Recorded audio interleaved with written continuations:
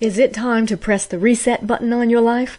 I'm Dr. Kyra, an expert in holistic well-being, and I would like to share with you the many ways you can create a life of vitality, peace of mind, and light-hearted fun. Welcome to my show. I'm delighted you're here. It's episode one of the Dr. Kyra Show Morning Edition. Have you ever had the intention to create a new healthy habit in your life, but just could not get yourself to stick to it? Or if you're like me, the question isn't if, it is how many times has that happened? So, dears, I know how it goes. We have inertia to overcome when we want to change our lives or we want to start something new. So, before you launch into my other episodes of the Dr. Kyra Morning Edition, where you're really going to be actually doing a healthy morning routine, first we need to address what is that energetic shift we need to do that's going to actually get you on board with this change that you are now living in a new way. Isn't that the challenge? Let's talk about the concept of inertia. We're going to go back to physics class in school. Sorry about that. But there's two things inertia and momentum. So, what is inertia? I'm going to actually read the definition for you here so we can get on board about what this is. Here's a few ways of defining inertia it's a tendency to do nothing or to remain unchanged. It's the property of matter by which it continues in its existing state. Here's what I like best is this definition. Inertia is the resistance of any object to change in its state. And that includes anything. Changes in its speed, its direction. So inertia is resistance when we're talking about this in regard to our own behavior. Sometimes people talk about motivation or momentum. Well, momentum isn't part of this definition until the change overcoming the inertia has already happened. Then you have momentum and movement that you can use that energy to continue the energy. That's momentum. Motivation is some type of external force that is creating the momentum. Well, I don't know about you, but motivation has always been something that I personally have struggled with because it really isn't a matter of some external force or someone else's opinion, in, in other words, or someone else's words. This motivation doesn't truly affect my inertia. So I'd like you to think for a moment right now about let's just be honest, it's okay. We have inertia. And I like to talk about this in regard to the science of it, the physics of it. Inertia affects everything. So, of course, it affects us and our behavior. Don't feel bad about it. This is the way the world works. Let's define it one more time. Inertia is the resistance of any object to any change in its state of being. So let's not fight against that or believe that there's something wrong with us because we have this inertia. What it's about is finding a workaround, something that is going to free us up to then be able to move in the new direction. And I'm going to teach you that in just a few moments. First, I'd like you to think about this inertia. Where is it happening in your life? What is it that you have been wanting to change? Hasn't been changing. Perhaps it's uh, eating more healthy, or maybe it's making sure that you're more productive during the day so that then you can have better control of your work schedule and end work on time and it doesn't trickle into your evening. Where is that inertia interfering so that you aren't making these changes that you would like to change. And just being honest about it. what I'm going to do now is lead you through a guided meditation. We're going to think about the inertia like an anchor from a boat. So when the boat is anchored, it's not going anywhere. Even if it's on a, a river where there's a current, that boat is not going anywhere because it is anchored. Where are you anchored in your life right now? Let's not even get into why you put your anchor there, uh, you know, who might be in charge of your anchor. Let's just keep it simple. Where are you anchored? Do you like where you are anchored in your life right now? Is it satisfying and fulfilling to you? Do you feel like it's in your best interests? Are you able to do the things that you want to do where you are anchored. If you are on a boat and it was anchored where you did not want to be, the fishing wasn't good in that area, uh, it, it, was too sunny right there, or you it wasn't the sightseeing that you wanted to do, you would pull up the anchor and you would go to a different area. So that's what we're going to do in our meditation. So what I'd like you to do is make sure you have no distractions right now. There is nothing else that you are involved in, nothing else that you're doing. You can put all your attention right now on this meditation, which is only going to take a few minutes. Sit with your back supported, your feet are flat on the floor,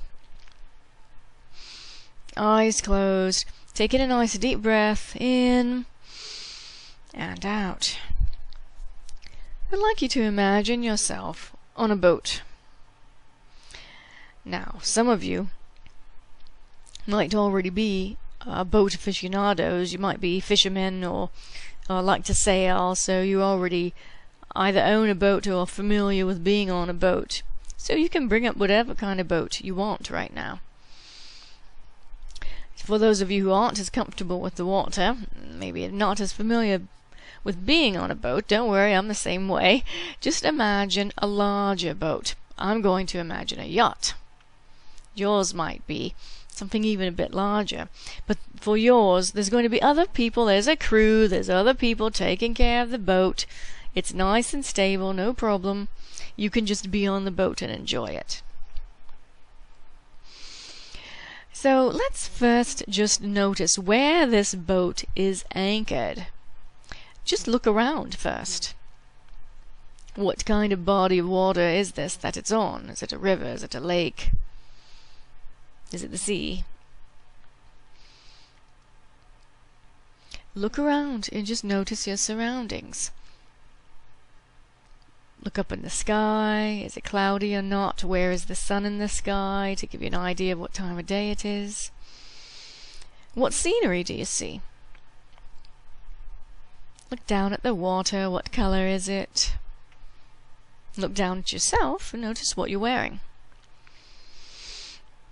Now, tune into your sense of hearing. What do you hear there? Now, you're probably going to hear a bit of water lapping up against the boat. But what else do you hear? What other sounds of nature are there? Anything else you notice? Take in a nice deep breath now and just notice how it smells there. Now notice what you feel. You might feel the warmth of the sun on your skin. And perhaps there's something else that you can feel there.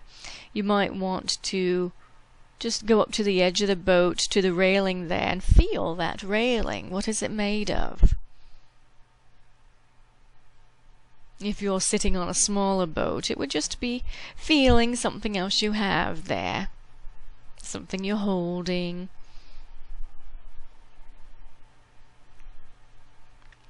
And notice now the emotional feeling of what it's like to be there. You might even have conflicted feelings that you like being on the water or you like your boat, but it's anchored, it's not moving. but notice the feeling of the water and how that how that energy feels to you. So we've come up to the time where you're saying, all right, already, I would like to move my boat where I would like it to go. You know, if you're you're sailing, perhaps that you know you want your boat to move to sail. If you're fishing, you want to go where the fish are. If you're sightseeing, you want to go where the pretty sights are. So it's time to pull up that anchor. But when you go to it, or if you're on the boat where there's a crew, uh, there's a noticing that the anchor seems a bit caught. Yeah, it's not letting up easily.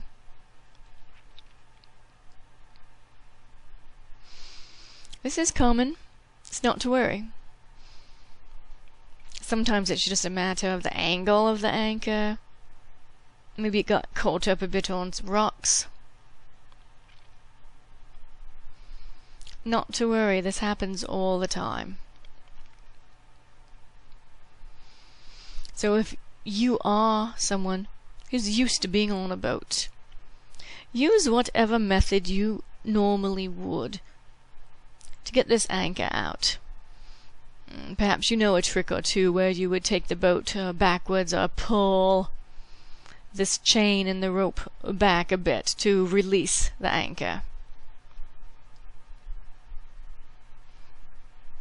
You're on a larger boat, the crew is going to do that for you.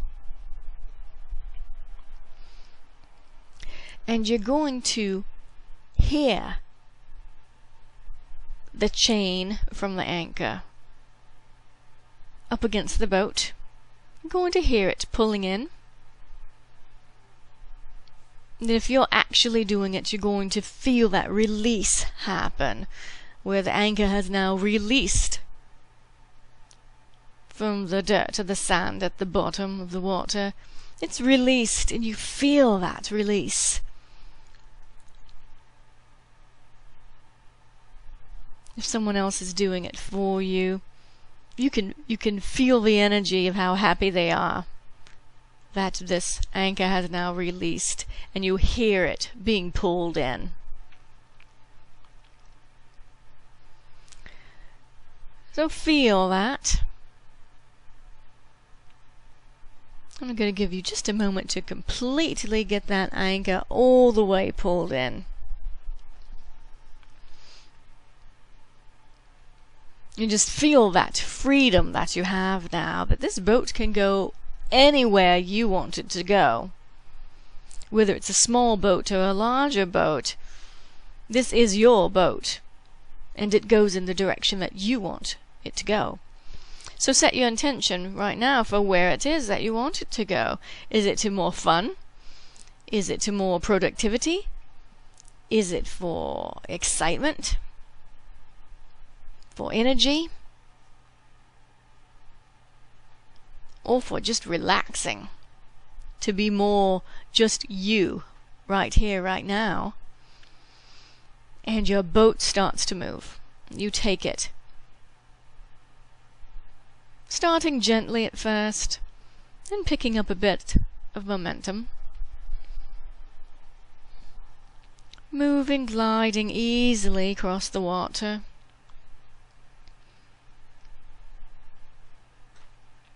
Seeing some beautiful sights along the way. Now tune into all those senses again one more time, noticing what you see as your boat is moving. Noticing what you hear now. And what you feel.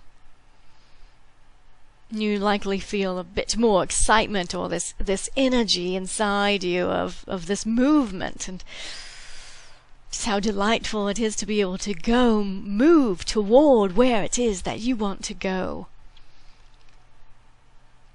So feel that excitement and that happiness, and that satisfaction. Pull it deep within your body.